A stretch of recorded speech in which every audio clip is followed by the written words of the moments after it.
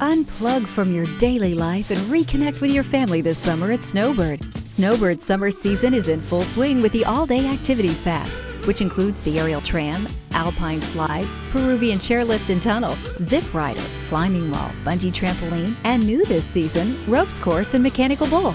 Snowbird is a short six mile drive up Little Cottonwood Canyon and offers everything you would expect in a perfect summer getaway. Snowbird, unplug and reconnect.